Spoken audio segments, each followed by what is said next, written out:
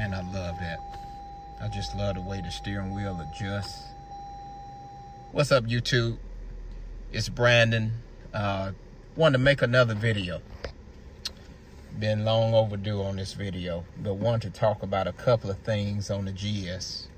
Very quickly, uh, not gonna make this too long. Hopefully, sometime when I get to talking, I just I talk for a long time. But anyway, number one, hope everybody out there is doing good. The weather's getting a little warmer. Hope you all enjoying the beautiful weather. Hope you're enjoying life. Uh, I still love the GS. Still love it. Um, the car has really been uh, flawless for the age, the mileage. Um, it's hard to beat these cars. A couple of things I wanted to mention uh, that I have uh, a little bit of concern uh, with. And I'm going to try and make this quick again. I noticed that when I am braking at like, let's say braking at a traffic light and I get to a little dip in the road and I'm not tight on the steering wheel, the steering wheel just kind of moves, uh, you know, on its own. And uh, I know that that may be linked into the amount of assists that they have at lower speeds. I want you all to tell me if you experience that with your GS. For any of you that have a GS, uh, tell me if you experience that. Uh, the second thing, I hit, I stay on Club Lexus. I'm always looking on Club Lexus in my uh, free time, and I have also read that there are some people with GSs, uh, in particular, this um, generation, fourth generation, that sometimes when you get on the interstate with this car, it is hard to keep it centered. You know, it's just like it wants to wander constantly. And uh, I want to know if, I want to know how many of you all that come across my video, uh, since we're talking about this, how many of you all notice that? Uh, there's sometimes I get in this car, I get on the interstate, and it just seems like it's smooth sailing.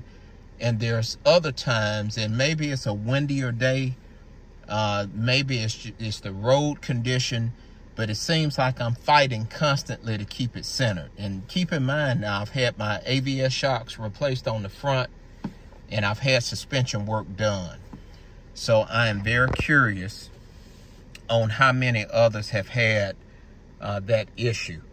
Another thing I'm going to tell you all that I notice is sometimes when the car gets on uneven sur uh, surfaces, I do get a little bit of popping from the ceiling area, and it's not the sunroof seal. I read on Club Lexus that some of you all have had uh, to replace the sunroof seal, the seal around the edge of the sunroof, but even with the sunroof open, I can still hear it creak and pop. Uh, it's not terribly bad, but this reminds me of a service bulletin that was on some of the Camrys uh, about the the the body, and the body seam uh, ends up flexing. Well, when the car flexes, it ends up popping, and I think the GS suffers from something similar to that. Uh, so that's another thing that I noticed. Uh, here's something else every once in a while, and I think that this is weather related, when I go into reverse, sometimes my backup camera is getting to where it will not show the picture of the, the of what's behind me. And I noticed that last summer, it seemed like the weather really affected that. It seems like sometimes you go in reverse, I just get a black screen. And uh, you know, first thought was just to replace the camera. And I have a feeling that it's not just the camera. I got a feeling this is wire related because I've seen on Club Lexus, some people are having radio issues that are intermittent that also kind of have to do with the temperature. So if any of you all have any kind of uh, advice or if you have any experience on that issue, uh, I would be uh, very happy to try and hear about that because during the winter, no issues whatsoever uh, when the weather was cooler. But I noticed it seems like under warmer weather, that's when I'm going in reverse. And what this thing will do is sometimes the backup camera picture will be a little fuzzy. You can see it kind of blinking in and out. And uh, there are times when it doesn't show anything. And I may cycle the car off and back on and uh, it may not show up and it's just kind of iffy. Uh, it decides to come back on when it wants to come on and eventually to do the, do the uh, same thing. So I'm curious to know if any of you are uh, all are having that issue uh, with it, with your GS. And uh, other than that, that's about the only thing I can think of. Those are the couple of little issues that I've noticed. Everything else on the car works and it works well. The car has good power. Uh, the braking is good. Love to, to put the GSF brakes on it, but as you all know, based off of past videos, I'm just not sure about the, the rim uh, changing wheels out. Um, probably not going to do that. So uh, more than likely, I just have to keep the factory brakes and rotors. Everybody says with a Lexus, keep factory brake pads, keep factory rotors.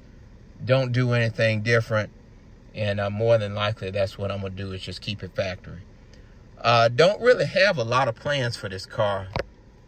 I'm going to tell you all, man, I've really been thinking about uh, just keeping everything simple, keeping the car maintained, keeping my bills paid good, trying not to get into a lot of debt.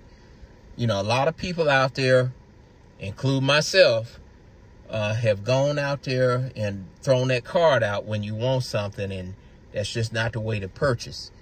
You know you save up your money and uh, if you want something you just you you pay cash for it. And as i age i'm learning about that. And uh, you know get my debt in check. Credit has always been excellent. I just been the one to throw that card out there too soon and that's not good.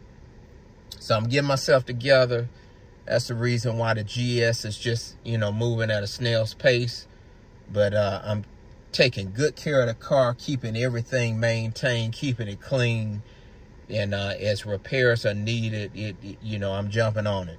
You know, as soon as I figure out something is wrong with it, uh, I jump on it and I'll go ahead and repair it.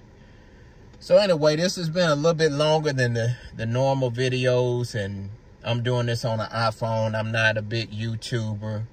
So uh, I just wanted to talk to you all and uh, just share the realistic experiences that I have with my GS. Um, overall, the car has been excellent. And I don't have any major complaints. But I did want to talk about some of the concerns that I've had with the car and uh, throw that out there and just see what, what you all think about it and uh, just kind of go from there. So uh, anyway, shout out to uh, everybody who's on my channel. I appreciate each and every one of you. Anybody who's uh, giving me any kind of positivity, uh, I really appreciate it. Uh, as time goes on, I'll probably get better equipment. I'll make more videos. I'll do more to the car. But for right now, keeping it simple and uh, just kind of keeping it real, man, and just uh, trying to talk to you all and see what's what. So uh, anyway, much love to all of you all out there, and I appreciate you taking your time to watch my videos. Peace out, and we'll do this thing again soon.